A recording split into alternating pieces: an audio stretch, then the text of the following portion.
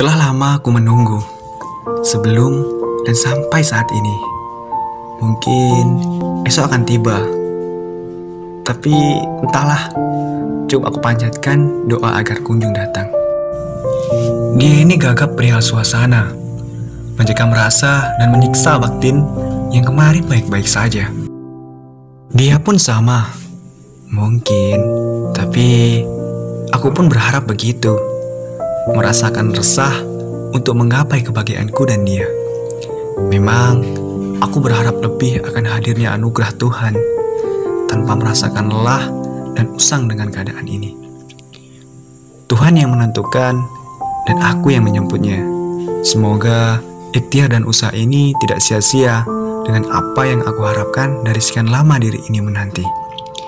Aku dan dia jauh tapi tak terpisahkan meski waktu sering menyesatkan.